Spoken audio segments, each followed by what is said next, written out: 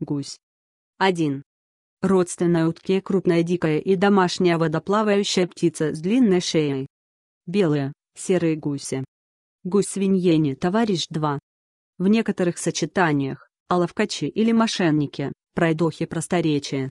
Хорош или каков Г. Выражение удивления по поводу ЧЕН. Проделки, плутойства. Гуси-лебеди – персонаж русских народных сказок.